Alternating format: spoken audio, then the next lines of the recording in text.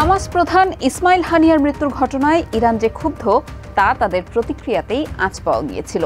কিন্তু ক্ষুব্ধ ইরান এর জবাব কীভাবে দেবে, সেটাই ছিল দেখার বিষয়। এবার সেটাও খানিকটা পরিষ্কার হতে যাচ্ছে বলেই মনে হচ্ছে। তা হলো, ইসরায়েলের ভূখণ্ডে সরাসরি হামলা।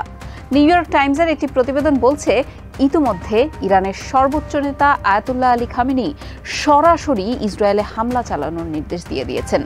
তিনজন ইরানি কর্মকর্তা ও দেশটির বিপ্লবী গার্ডের দুইজন সদস্যের বরাতে গত একত্রিশ জুলাই এই তথ্য জানায় মার্কিন এই সংবাদ মাধ্যমটি।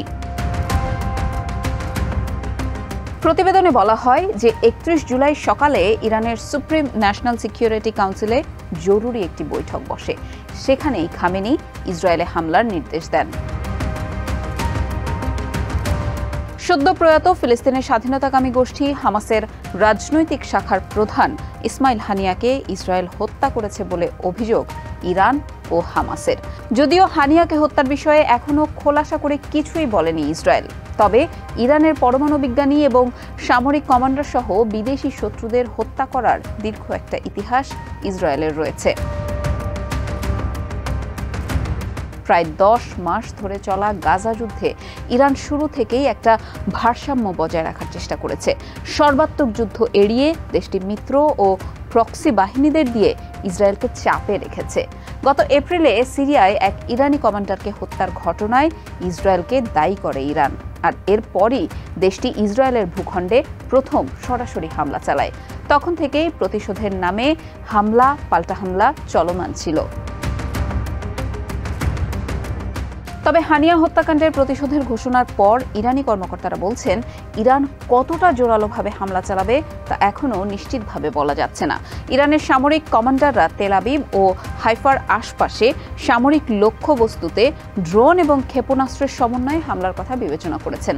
তবে বেসামরিক লক্ষ্যবস্তুতে হামলা এড়ানোর জোর চেষ্টা চালানো হবে। এছাড়া ইরান ও তার অন্যান্য ফ্রন্ট থেকে সমন্বিত আক্রমণের কথা বিবেচনায় রাখা হয়েছে। সেক্ষেত্রে ইয়েমেন, সিরিয়া ও ইরাক থেকেও হামলা চালানো হতে পারে। এর আগে ইরানের প্রেসিডেন্ট মাসুদ পেজেশকিয়ানের অভিষেক অনুষ্ঠানে যোগ দিতে গিয়ে তেহরানে গিয়েছিলেন হানিয়া, আর সেখানেই গুপ্ত হত্যার শিকার হলেন তিনি। হানিয়ার মৃত্যুর পরেই বিবৃতিতে খামেনি ঘোষণা দিয়েছিলেন যে ইরান এখন সরাসরি প্রতিশোধ নেবে। হানিয়ার রক্তের প্রতিশোধ নেওয়াটা এখন তাদের কর্তব্য, এটা উল্লেখ করেছিলেন তিনি, কারণ এই ঘটনা তাদের ইরানের ভূখণ্ডে ঘটেছে। এছাড়া ইসরায়েলের বিরুদ্ধে প্রকাশ্য প্রতিশোধের কথা বলেছেন ইরানের নতুন প্রেসিডেন্ট মাসুদ পেজিশকিয়ান। পররাষ্ট্র মন্ত্রণালয় সহ অন্যান্য ইরানি কর্মকর্তারাও একই ধরনের কথাই বলেছেন। এদিকে হামাসের রাজনৈতিক শাখার প্রধান ইসমাইল হানিয়ার জানাজা আজ এক আগস্ট ইরানের রাজধানী তেহরানে অনুষ্ঠিত হবে।